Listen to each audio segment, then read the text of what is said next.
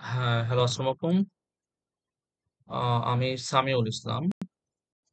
আজকে আমি শেয়ার মার্কেটের রিসেন্ট যে নিউজগুলো আছে, কিছু পজিটিভ নিউজ, কিছু ভালো নিউজ, এই নিউজগুলো নিয়ে কথা বলব। সো প্রথমত আমি যে নিউজটা দেখতেছি এখানে যে শেয়ার বাজারে সুশাসন ফেরানোই প্রথম কাজ। BSEC chairman. আমরা সবাই জানি যে গত কিছুদিন আগে, আ বিএসই তে, আ, পরিবর্তন এসেছে। বিএসইসি তে পরিবর্তন এসেছে। সো আগের চেয়ারম্যানকে লাইক উনি পদত্যাগ করেছে। নতুন চেয়ারম্যানকে নিয়োগ দেওয়া হয়েছে। সো নতুন চেয়ারম্যান উনি গত কিছুদিন বাজার অবজার্ভ করতেছিল। ওনার আসলে মন্তব্য বা কোনো কমেন্ট পাওয়া যাচ্ছিল না। কিন্তু গত দুই দিন আগে উনি বাজার সম্পর্কে কিছু মতামত দিয়েছে যে উনি আসলে প্রথমত কি, কি জিনিস নিয়ে উনি দেখতে চায় বা কি, কি জিনিস নিয়ে উনি কাজ করতে চায়। সো কিছু জিনিস আমি আমার কাছে মনে হলো যে সেগুলো হয়তো বাজারের জন্য সুফল বয়ে নিয়ে আসবে। ভালো পরিবর্তনের কথা বলেছে। প্রথমত সুশাসন ফেরানোই হবে আমার প্রথম কাজ। সো আমরা যেটা খেয়াল করতেছিলাম বা অনেকেই মন্তব্য করতেছিল যে বাজারে সুশাসন নেই। বাজার কিছু গ্রুপের মাধ্যমে পরিচালিত হয় বা কিছু গ্রুপের স্বার্থে কাজ করতেছে লাইক অথরিটি গুলো। তো ওনার প্রথম বক্তব্য সুশাসন। তো যদি বাজারে সুশাসন ফেরানো সম্ভব হয়, তাহলে হয়তো বাজারে ট্রান্সপারেন্সি অথবা বাজারের স্বচ্ছতা চলে আসবে। কারণ অনেক কোম্পানি হয়তো তারা উইন্ডো ড্রেসিং এর মাধ্যমে অথবা ফেব্রিকেটেড করে কোম্পানির ফান্ডামেন্টাল যেমন ইপিএস, এনএভি বা আরও আদার্স ইন্ডিকেটর যেগুলো মার্কেটে ইম্প্যাক্ট ফেলে, এই জিনিসগুলো ফেব্রিকেটেড ওয়েতে তারা প্রেজেন্ট করেছে। সেটা হয়তো আগামীতে আর সুযোগ থাকবে না। কারণ সুশাসন মানেই আ জবাবদিহিতা, স্বচ্ছতা নিশ্চিত করা। তো আমাদের নতুন বিএসইসি চেয়ারম্যান খন্দকার রাশেদ মাকসুদ উনি যদি বাজারে সুশাসন প্রতিষ্ঠা করতে পারে, তাহলে সেটা আমাদের বাজারের জন্য পজিটিভলি কাজ করবে।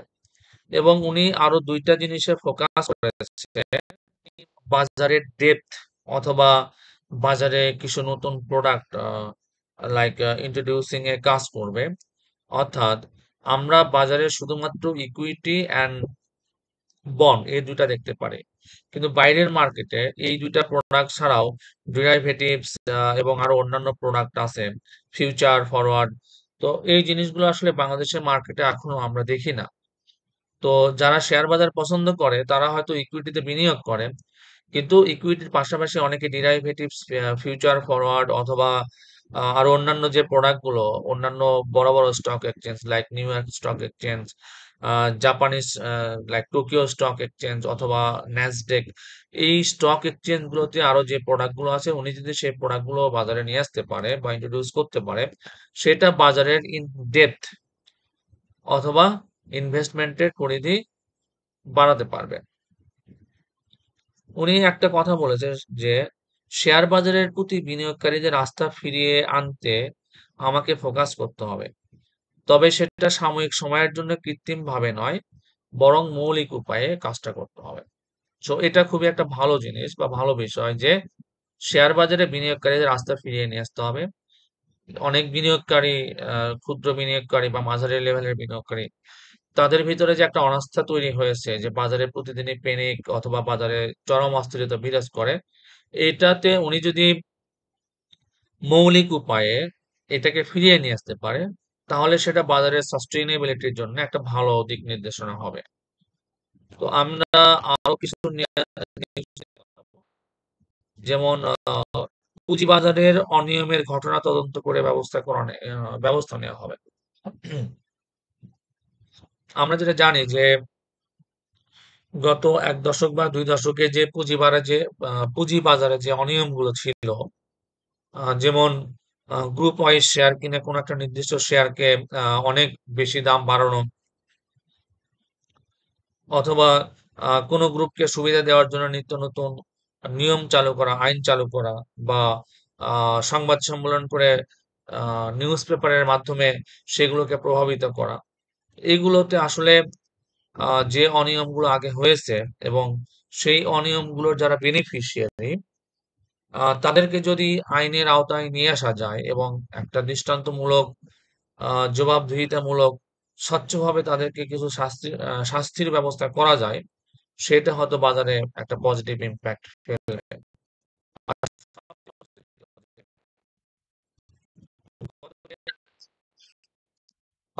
প্রধান উপদেষ্টা ডক্টর মোহাম্মদ ইউনুস, উনি একটা দীর্ঘ বক্তৃতা দিয়েছে বাংলাদেশের আগামীতে উনি কীভাবে দেশ পরিচালনা করবে।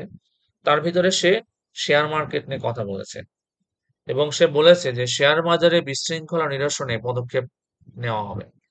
শেয়ার বাজারে বিশৃঙ্খলা নিরসনে পদক্ষেপ নেওয়া হবে প্রধান উপদেষ্টা।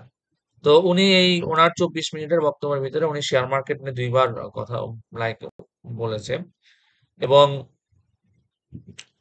উনি কিছু ভালো দিক নির্দেশনাও দেওয়ার চেষ্টা করেছে। সো উনি যেহেতু দেশের লাইক এখন এক্সিকিউটিভ প্রধান, উনি যেহেতু শেয়ার বাজারে আস্থা ফিরিয়ে নিয়ে আসার জন্য কথা বলেছে সো আমার মনে হয় এটা বিনিয়োগকারীদের ভিতরে একটা পজিটিভ ইম্প্যাক্ট ফেলবে। যেমন ডক্টর ইউনুস বলেন, বিদেশি সাংবাদিকদের এদেশে আসার যে অলিখিত নিষেধাজ্ঞা ছিল তা ইতিমধ্যে তুলে নেওয়া হয়েছে। এটা লাইক ন্যাশনাল কিছু ব্যাপার। আর শেয়ার মার্কেট না যেটা তিনি যেটা বলেছে যে ব্যাংকিং খাতে প্রতিষ্ঠান ইতিমধ্যে ব্যাংকিং গঠন করার সিদ্ধান্ত গ্রহণ করা হয়েছে। খাতটি চাঙ্গা করতে দক্ষ জনবল নিয়োগ দেওয়া হবে। এটা খুব একটা ভালো জিনিস যে বাংলাদেশের অর্থনৈতিক লেনদেনের ক্ষেত্রে ব্যাংক খুব গুরুত্বপূর্ণ ভূমিকা পালন করে।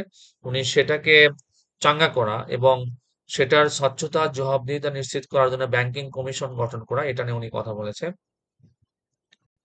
এবং আরও কিছু ভালো বিষয় উনি দিক নির্দেশনা দিয়েছে, যেটা আমরা আশা করি যে আমাদের বাংলাদেশের পুঁজিবাজারে একটা পজিটিভ ইম্প্যাক্ট ফেলবে এবং দীর্ঘমেয়াদী আমরা একটা ভালো বাজার দেখতে পাবো।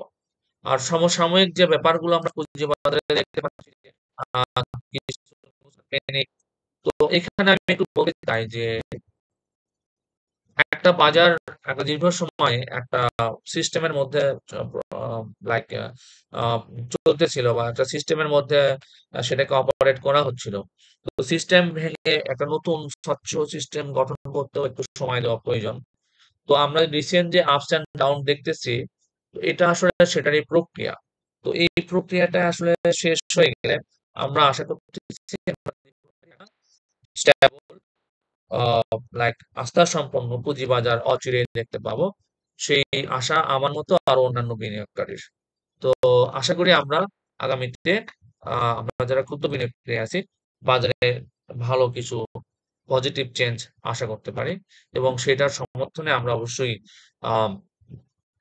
আমাদের একটু ধৈর্য ধরা বা একটু সময় দেওয়া, সেটা আমরা সেই ধৈর্য ধারণ করব তো আমি পরবর্তী ভিডিও কিছু স্টক নিয়ে কথা বলব। সো আপনাদের মতামত বা আপনাদের কমেন্টস জানাবেন। আপনাদের মতামত বা কমেন্টস আমাদের এরকম আমি সময় দেওয়া বা এগুলোতে উৎসাহিত করে। ধন্যবাদ সবাইকে।